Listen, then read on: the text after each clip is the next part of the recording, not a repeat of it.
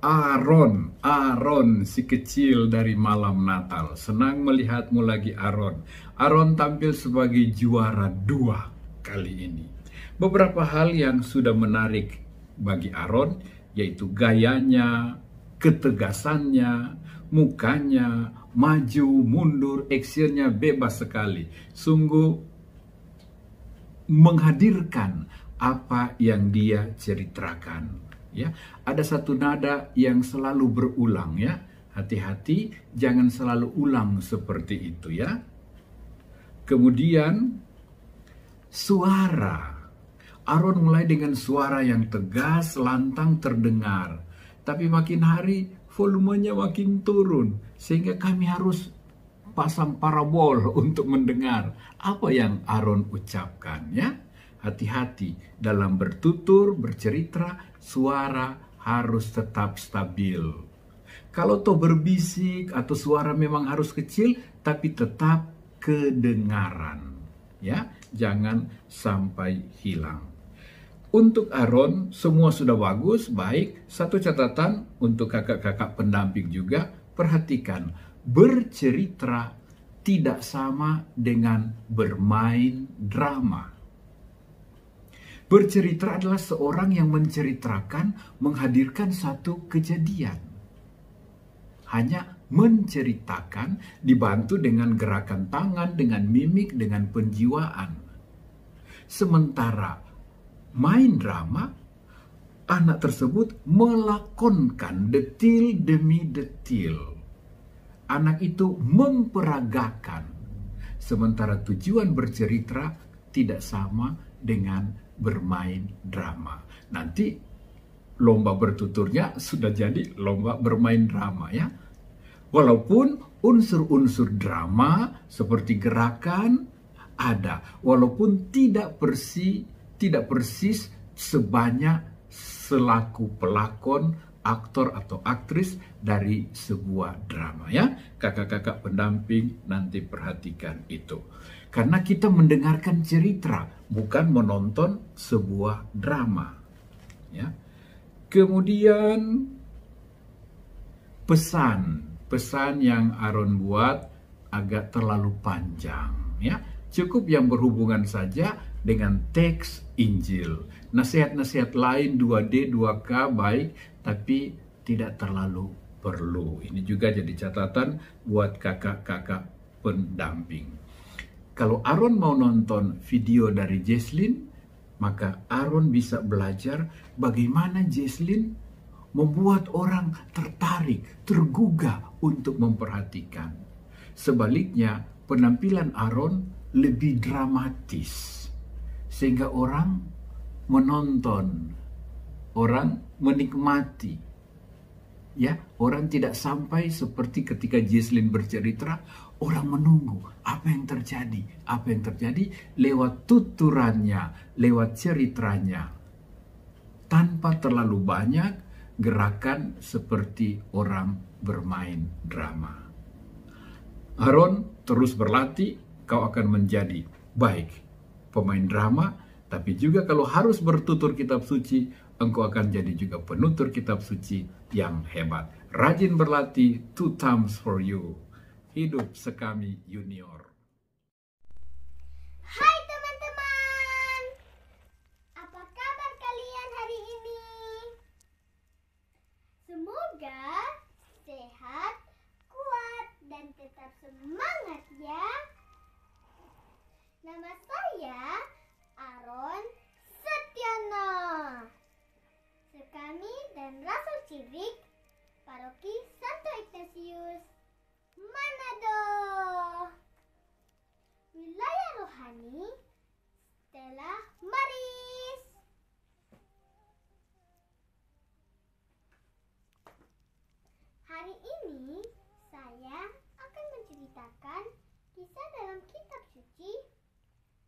Lukas 8 ayat 22 sampai 25 tentang Tuhan Yesus menenangkan badai di danau Galilea.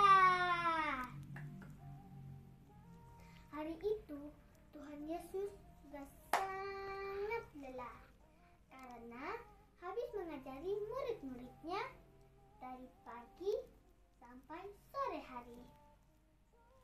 Sore itu, Tuhan Yesus mengajak murid-muridnya untuk pergi ke Dikapolis, menyeberangi Danau Galilea dari Kapernaum ke Dikapolis. Mereka berjalan naik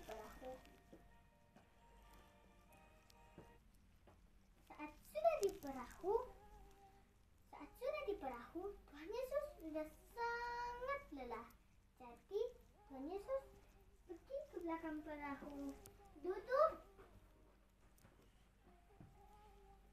dan tertidur.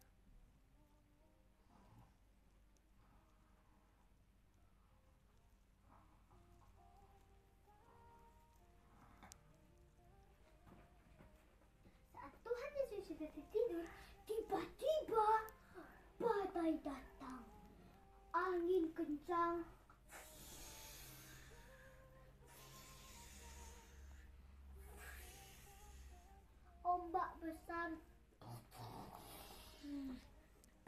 Betul.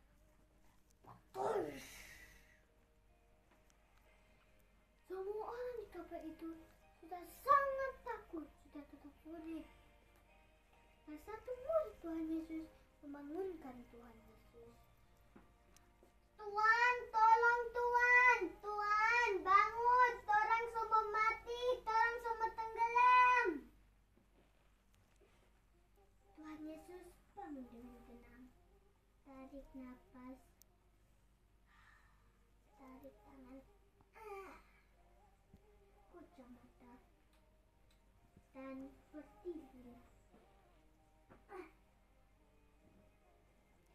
Tuhan Yesus berjalan ke depan perahu dan berkata, Tenang, tenang, tenanglah, diam, diam, diamlah. Tiba-tiba angin dan ombak besar tadi sudah tenang. Angin hanya sepoi-sepoi. Ombak hanya kecil-kecil. Tuhan Yesus berjalan ke murid-muridnya dan berkata, Hei, mana Monipe Iman? Monipe Iman cuma begitu kecil. Moni nandak percaya. Dan salah satu orang di kapal itu terkejut dan berkata, Siapa dia? Hei, siapa dia? Hei, siapa dia? Kenapa diberi perintah kepada pantai? Langsung tenang. Dan salah satu murid Tuhan Yesus berkata, Dialah putra Allah yang mempunyai kuasa atas alam dan cuaca. Jadi teman-teman semua, jika Tuhan Yesus bisa menenangkan badai yang saya ceritakan tadi, pasti Tuhan Yesus juga bisa menenangkan hati kita. Di masa pandemi ini, kita semua lagi dalam kesusahan karena belum bisa pergi ke sekolah, bertemu teman-teman, bermain dengan teman-teman. Jadi, mari kita tingkatkan iman kepercayaan kita kepada Tuhan Yesus.